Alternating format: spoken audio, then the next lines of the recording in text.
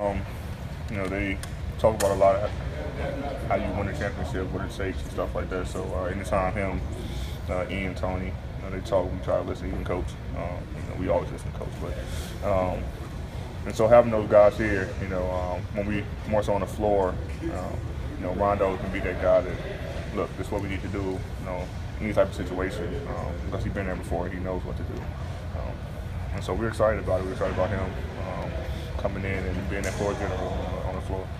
You and uh, Demarcus kind of had similar paths coming into the league where you kind of came in and immediately kind of had to be the guy for your team. How much does it help to have him and Rondo on the team now where you can kind of share that burden with a couple of other guys? Um, well, I kind of always, you know, shared it with Jrue. You know, um, but having you know somebody like Demarcus and Rondo come in has been huge.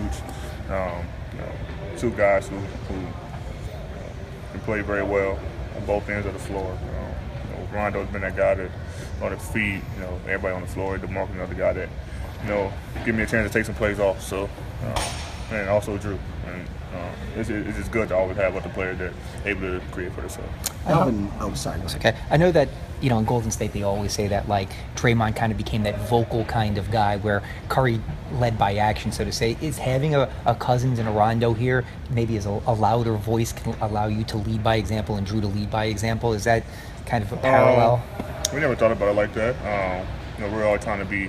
Uh, well, me and Jrue trying to be more vocal. You know, cousin Rondo's already you know.